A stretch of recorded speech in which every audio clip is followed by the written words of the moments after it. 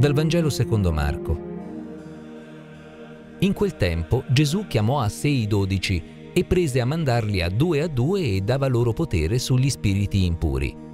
E ordinò loro di non prendere per il viaggio nient'altro che un bastone, né pane né sacca né denaro nella cintura, ma di calzare sandali e di non portare due tuniche. E diceva loro, Dovunque entriate in una casa, rimanetevi finché non sarete partiti di lì.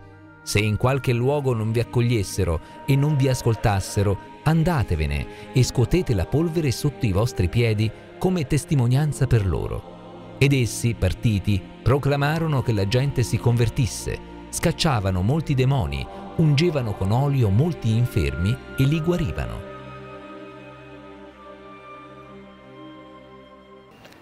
Pace e bene carissimi amici, ancora per tutti voi il mio fraterno eh, saluto, come sempre però vorrei mh, che tale saluto giungesse in modo particolarmente affettuoso alle persone anziane o inferme, alle persone sole che trovano consolazione nelle parole del Signore e ne sentono la sua solidale vicinanza.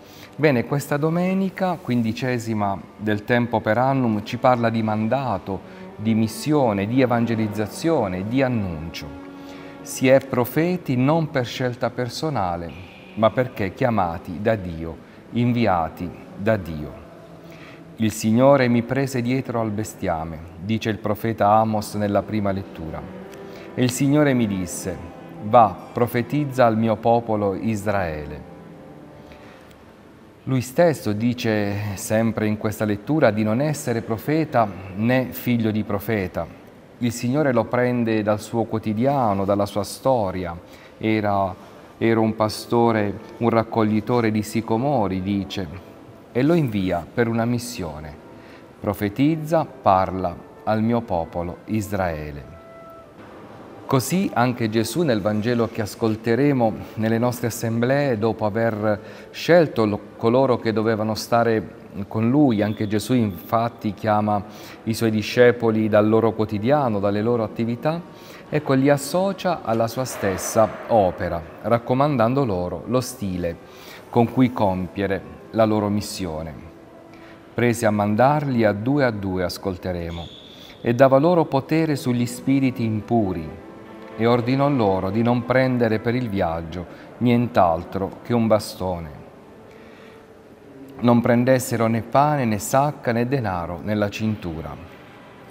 Gesù invita all'essenzialità. Qual è la sua parola, la buona notizia e tutto ciò di cui abbiamo veramente bisogno. Chi si apre alla buona notizia diventa egli stesso missionario ed evangelizzatore. Mi piace allora ricordare in questo momento quanto sia stato determinante per Francesco d'Assisi, il nostro eh, padre fondatore, questo brano evangelico. Rimase così colpito da questa parola che dopo aver udito dal sacerdote la spiegazione sul senso della missione, Francesco, esultante di Spirito Santo, è scritto nella vita prima di Tommaso da Celano, esclamò questo io voglio, questo io chiedo, questo io bramo di fare con tutto il cuore. Francesco trova la strada per realizzare la sua personale esperienza battesimale e la sua esperienza diventerà poi quella di tanti altri eh, uomini e donne che lo hanno seguito e si sono santificati come lo stesso San Pio da Pietrelcina.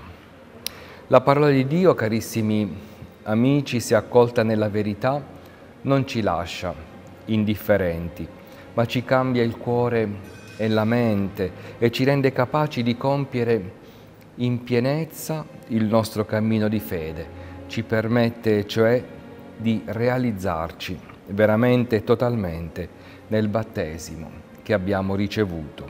Ci rende capaci di compiere la nostra missione nella testimonianza vera e credibile di colui che è morto e risorto per noi. Chi accoglie nella verità Cristo, parola vivente, è capace di percorrere fino in fondo la strada della santità. E questo Allora l'augurio che faccio a voi e a me in questa domenica, da uomini veramente liberi, non dobbiamo aver paura di ciò a cui siamo stati chiamati, ma andare avanti con gioia nelle sue vie. Pace e bene e buona domenica a tutti.